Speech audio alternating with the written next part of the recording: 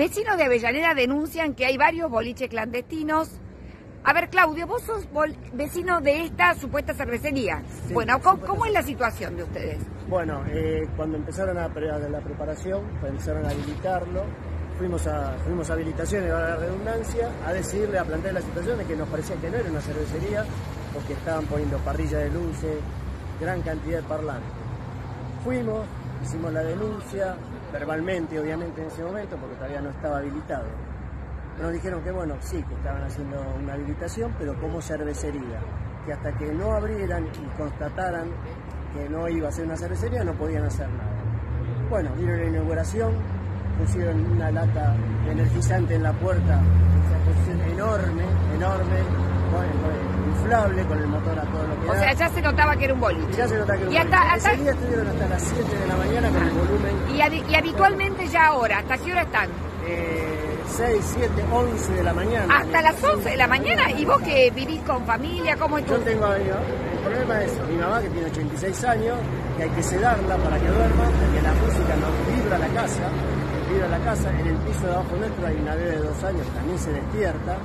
Es un desastre, los vecinos que viven acá arriba también están tan, tan hartos. Sí, me han bajado a decirle que bajen el volumen, los te tratan mal. ah, bueno, los vecinos se ve que ya. Ah, mira, ya han puesto en venta el departamento. Qué bárbaro.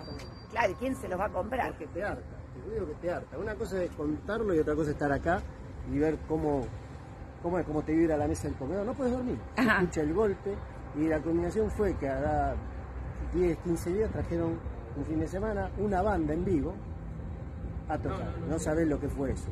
Fue terrible. Claro. Fue terrible. ¿Y acá en la municipalidad de Avellaneda alguien te escucha? No me escucha nadie. Los concejales, nadie, te da bolilla, nadie te lleva el apunte. Qué va. dicen presentar papeles. Presentar papeles, la Defensoría del Pueblo también. Vos presentás papeles, te lo sellan, no tiene ningún problema, pero nadie acciona. Pero escúchame, esto está en medio de la avenida. Estamos acá, a ver, a, ver a los, los concejales de Avellaneda si me escuchan y el intendente. A ver, Hipólito Yrigoyen y Entre Ríos. Esto es pleno más centro imposible. A ver, si alguien escucha... Yo no sé nocturnidad o cómo se llama, que nos pasa, no ve, no sé qué hace. Aparte vos querés llamar a la madrugada porque tenés un inconveniente, ¿a dónde llamas? No hay un número. La municipalidad tiene horario de oficina, de lunes a viernes. Entonces, ¿a quién llamas?